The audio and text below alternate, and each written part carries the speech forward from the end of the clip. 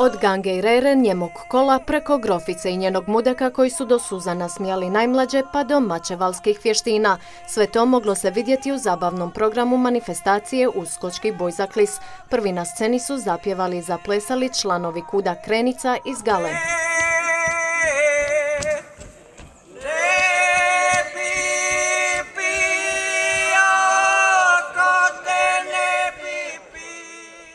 Pivamo gdje se god sastanemo. Uvijek. Je. I to je lipo, to je uživanje. I njemo kolo se plesalo, a više o njemu otkrila nam je članica kuda. Pleše se bez muzike onako na ovaj na osjet, ajmo reći. I ima jedan koji vodi kolo, koji zapovjeda, na primjer okrenu svoju ili tako te neke cake. Dame i gospodo, poštovani gosti, ovaj, I eto to, šta da više rečem.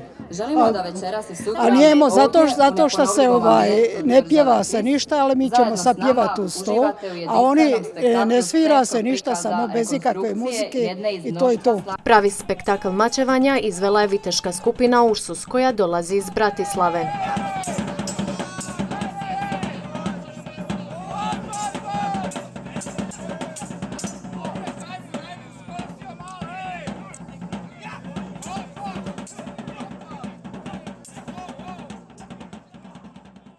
Prikazali smo e, mačevanje i šermovanje, čime se oni bave. Imaju također i svoj band e, i sviraju srednjovjekovnu glazbu.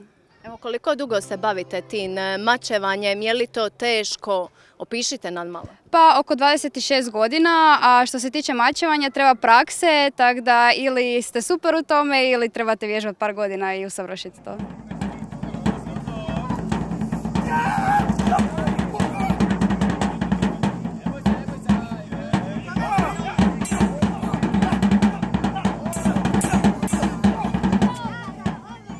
Prikazali smo ljudima znači spoj povijesti, e, šermovanja, zabave i taj neki način da približimo ljudima na smješniji način i zabavniji cijelu tu povijest, da nije sve monotono, te također djeci se jako sviđaju ti nastupi i ljudi ih baš jako vole. Znači dolaze u skupinama gdje se bore, imaju svoje oružja i jednostavno uživajte, uživaju ljudi u tome. Uh, our performance uh, needs to be Naš nastup treba imati akciju, mora biti zanimljiv svima jer ljudi ne žele gledati pola sata nešto bez veze, a mi im prikazujemo pravu borbu mačeva i akciju.